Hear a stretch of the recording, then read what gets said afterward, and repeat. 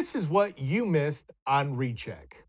Speaking of treating all different kinds of animals, Dr. Nicole has been one of our vets most eager to treat all animals, great and small. Let's bring her on now.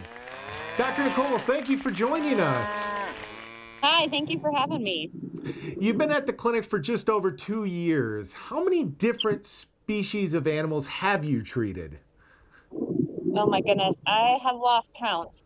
Um, it's been quite a few. I know that my list would definitely be way, way shorter if I did not work at Pol Vet, and definitely a lot shorter if I didn't get to work with Dr. Pol. He has been a great mentor throughout these past couple years, and he has taught me how to handle different animals, how to treat them, and if I ever have questions, he's right there. But my list is growing, and hopefully it'll continue to grow through the roof. Have you always wanted to work on a variety of animals, Dr. Nicole?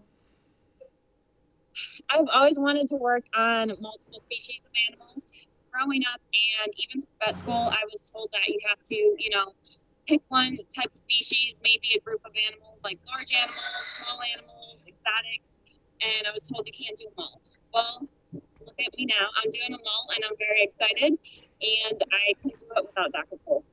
How how has working with Dr. Pol helped you learn to take care of the different species that you see? Like, what, Dad? What is the uh, process um, of being able to work on something as different from one day to the next as a mouse to a, a Clydesdale? Because animals are in certain species, and many different animals belong to a species that is similar.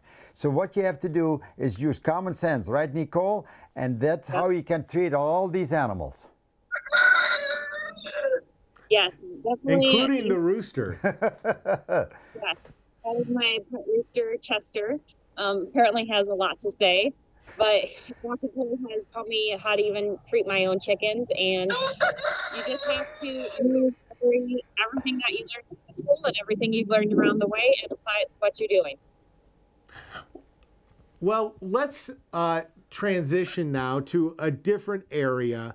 People have gotten to see you work in veterinary medicine, but what is one thing that people haven't gotten to see that might surprise them the most, Dr. Nicole?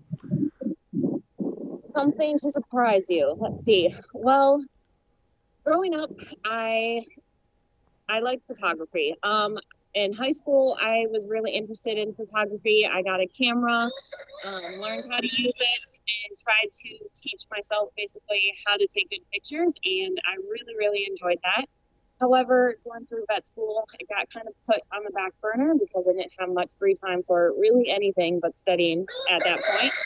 So I have been able to go ahead and pick that back up now, and I'm loving it and kind of just learning as I go and kind of learning from the TV show and the pictures that they take, and it's a great combination.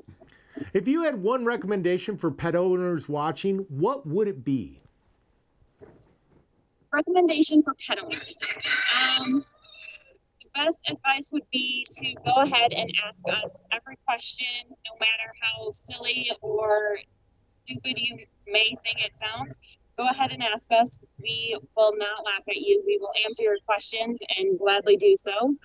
Um, we are really happy to answer those questions because we'd rather see it sooner rather than later and help you treat your pet before it gets serious.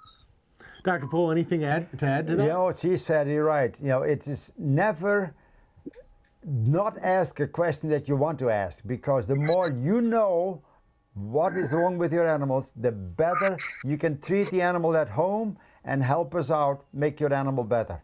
Last question, Dr. Nicole. We know that your favorite TV show is The Incredible Dr. Pol, but what is your second favorite TV show?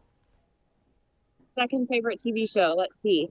Um, okay growing up, I always wanted to be a vet. My backup to that plan was going to be a doctor, and my backup to a doctor was going to be a lawyer. So I guess I'd have to say Law and Order is my second favorite TV show. Well, I can tell that you might need to get back to your chickens, Dr. Nicole. So we're going to say thank you for joining us, and we're going to see you back at the clinic on Monday. Subscribe here to Dr. Pol Presents to watch even more content coming your way soon.